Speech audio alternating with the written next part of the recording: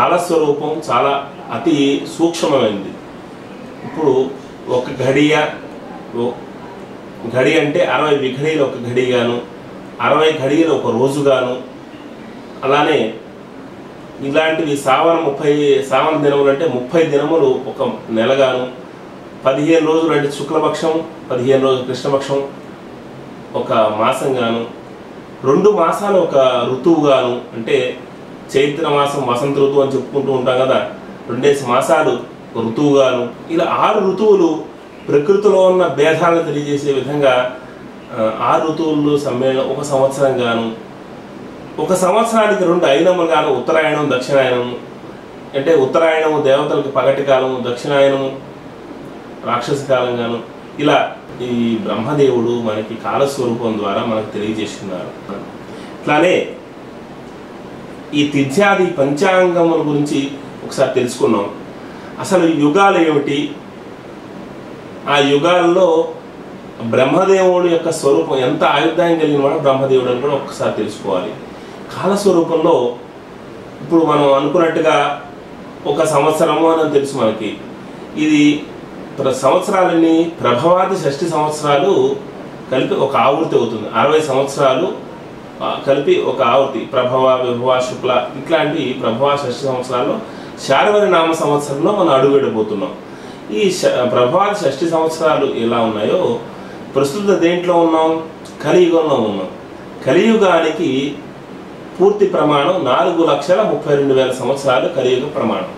యుగ ప్రమాణం నాలుగు లక్షల ముప్పై రెండు వేల సంవత్సరాలు అయితే ఇక దీనికి ముందు నడిచిన యుగం ద్వాపర యుగం.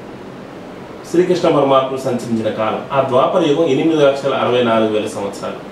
అంతకుముందు త్రేతాయుగం శ్రీరాముల వారు సంచరించి సంచరించిన కాలం. అది పన్నెండు లక్షల తొంభై ఆరు వేల సంవత్సరాలు. అంతకా ముందు సత్యకాలం అంటే హరిశ్చంద్రుడు సంచరించిన కాలం. దాన్ని పదిహేడు లక్షల ఇరవై ఎనిమిది వేల సంవత్సరాలు. అంటే కృతత్రేత ద్వాపర యుగాలు కలియుగంతో సహా నాలుగు యుగాలు కలిపి ఒక మహాయుగంగా చెప్పబడ్డాయి. ఈ నాలుగు యుగాలకి ఒక మహాయుగంగా చె- చెప్పుకోవచ్చు. ఈ నాలుగు మహాయుగాలని డెబ్భై యొక్క మహాయుగాలు సంధి కలిపి ఒక కల్పంగా చెప్పబడింది.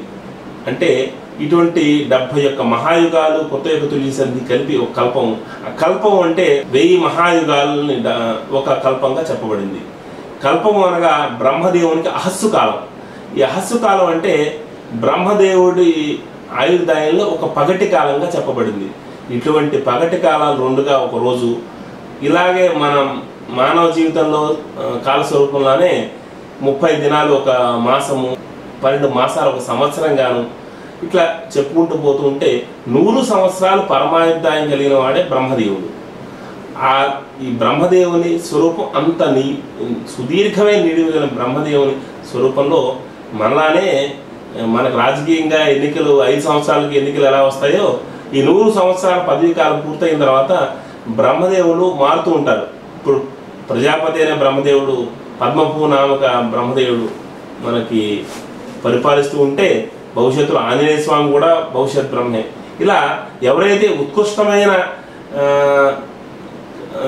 జీవితాన్ని పుణ్యప్రదమైన జీవితాన్ని చేస్తూ ఉంటారో వాళ్ళకి ఈ సృష్టిలో ఉన్నతమైన పదవులు లభిస్తూ ఉంటాయి.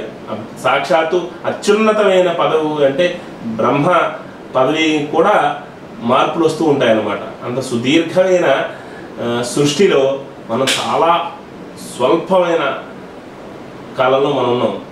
గతంలో అనుకున్నారు గతంలో ఏమనుకున్నారు? రెండు వేల సంవత్సరం వస్తే కలియుగాంతం కలియుగాంతం ఉన్నారు రెండు వేల సంవత్సరం కలియుగాంతం ఏంటి?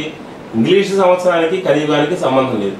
కలియుగ ప్రమాణం నాలుగు లక్షల ముప్పై రెండు వేల సంవత్సరాల్లో మనం ఇప్పుడు ఎంత జరుగుతోంది? కలియుగాది కలియాది ఐదు వేల నూట ఇరవై ఒక్క సంవత్సరంలో మనం ఈ శారవనామ సంవత్సరం ప్రారంభమైంది. అంటే సుమారుగా ఒక్క శాతం మాత్రమే కలియుగంలో మనం నడిచింది. కాబట్టి అలాగే శాలివాహన శకం అనేది ఉంది. ఆ శాలివాహన శక రీత్యా మనం పంతొమ్మిది వందల నలభై రెండవ సంవత్సరం ఈ శార్వరి నామ సంవత్సరం అన్నమాట. సరే ఈ శార్వరి నామ సంవత్సరానికి ఒక ఉత్పత్తి అర్థం ఉంది. నిసి అనే అర్థం అంటే రాత్రి అర్థం కలిగింది శార్వరి నామ సంవత్సరం. ఈ ఇంత సుదీర్ఘమైన కాలంలో ఈ కాలస్వరూపం చాలా నిగూఢమైంది. ఈ వీడియో కనుక మీకు నచ్చినట్లయితే లైక్ చేయండి. మీ ఫ్రెండ్స్కి షేర్ చేయండి.